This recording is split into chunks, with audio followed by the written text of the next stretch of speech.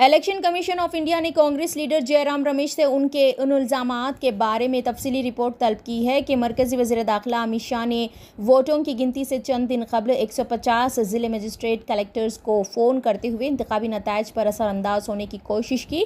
Commission ने कहा कि आज तक किसी भी ज़िले मजिस्ट्रेट ने किसी गैर मुनासिब असर रसूख का सामना करने की इतला नहीं दी है। तहम इंतबी इदारे ने एक सीनियर लीडर की जानब से लगाए गए इल्ज़ाम की संगीनी को देखते हुए बड़े अवामी मफाद में इस मसले को हल करने के लिए मखसूस तफसीत हासिल करने पर इसरार किया। वोटों की गिनती का अमल हर आर ओ रिटर्निंग ऑफिसर पर डाला जाने वाला एक मुकदस फरीज़ा है और एक सीनियर ज़िम्मेदार और तजुर्बेकार लीडर के इस तरह के अवामी बयान से शकूक व शुभात का अंसर पैदा होता है और इस तरह वसी तर अवामी मफाद में इसका इजाला किया जाना चाहिए। इलेक्शन कमीशन की जानब से जयराम रमेश को रवाना करदा नोटिस में कहा गया है, अगरचे किसी डीएम ने किसी गैर ज़रूरी असर रसूख की इतला नहीं दी है, लेकिन इलेक्शन कमीशन ने जयराम रमेश से 150 डीएम की तफसीत और मालूम मांगी है, जिन पर अमित शाह ने असरअंदाज किया है। जैसा कि रमेश ने इल्ज़ाम लगाया है और जिसे वो सच मानते हैं, और इस तरह उन्होंने ये इल्ज़ाम लगाए हैं।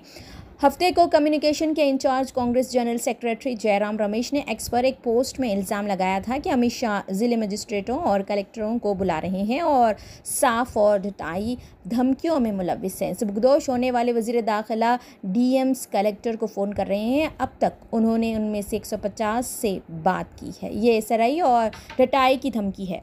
जिससे ज़ाहिर होता है कि बीजेपी कितनी मायूस है। ये बिल्कुल वाज हो जाए कि आवाम की मर्ज़ी गालिब होगी और चार जून को मोदी, अमित शाह और बीजेपी बाहर निकलेंगे और इंडिया इतिहाद जीत जाएगा। मज़ीद ताज़ा तरीन खबरों को देखने के लिए आप देखते रहिए फ्लैश नॉ न्यूज़। चैनल को लाइक, शेयर और सब्सक्राइब करना ना भूलें।